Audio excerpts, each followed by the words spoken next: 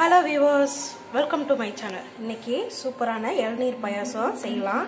நான் நெய்யில் முந்திரி பருப்பு திராட்சையை வறுத்து வச்சுருக்கிறேன். இளநீயோட அந்த வழுக்கையை வந்து இது போல் சின்ன சின்னதாக கட் பண்ணி வச்சுக்கோங்க. இளநீ தண்ணி. நான் வந்து தேங்காவை வந்து கட் பண்ணி அதோட இளநீ தண்ணி கொஞ்சமாக ஊற்றி நாலு ஏலக்காய் போட்டு திக்காக பால் எடுத்து வச்சுருக்கிறேன். இந்த அளவுக்கு.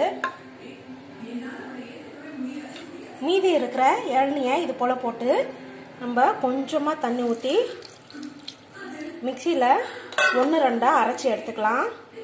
நான் ஒரு அரை லிட்ரு பாலை ஒரு கப்பு சர்க்கரை போட்டு இது போல் திக்காக காய்ச்சி வச்சு வச்சுருக்கிறேன். இப்போ இதில் நம்ம எல்லாத்தையும் சேர்த்துடலாம். நம்ம தேங்காய் பால் இப்போ அரைச்சோம் இல்லையா மிக்சியில்? இளநீர் வளர்க்க அதையும் சேர்த்தலாம் அப்புறம் கட் பண்ணி வச்சிருக்கிற இளநீ நெய்யில் வறுத்த முந்திரி திராட்சை எல்லாத்தையும் இப்போ நம்ம மிக்ஸ் பண்ணிடலாம்.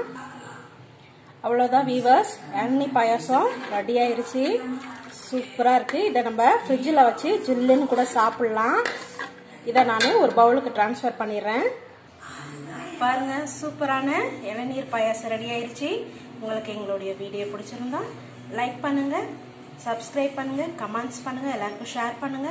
தேங்க்யூ வியூவர்ஸ் விவசாயம் செலுக்கட்டும் நாட்டு மக்கள் அனைவரும் நலமுடன் இருக்கட்டும். Thank you viewers